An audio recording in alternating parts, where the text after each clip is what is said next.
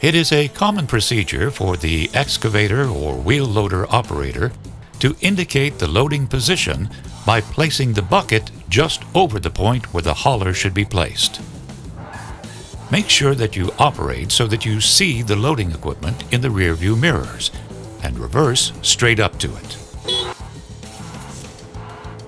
The most efficient loading position is loading from the back or side with an excavator or from the side with a wheel loader. Volvo articulated haulers are equipped with a patented load and dump brake function for ease of operation and safety. When positioning the articulated hauler for loading, stop. Press the load and dump brake button.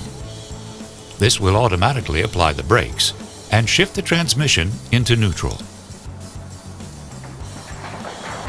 The operator of the loader or excavator will normally sound a horn when the body is full.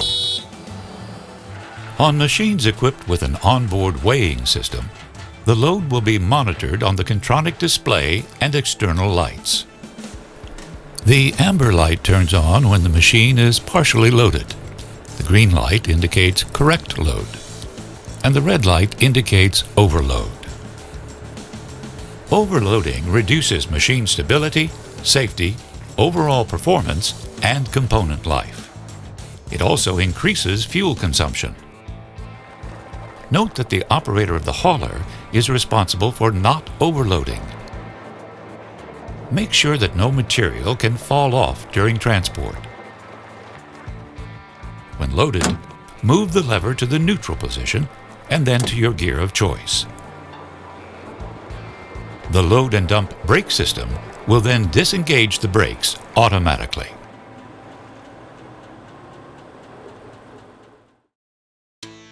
Make sure that the hauler is positioned as straight as possible and leveled when being loaded. Position the machine under the loading equipment's bucket. Use the load and dump brake for convenience.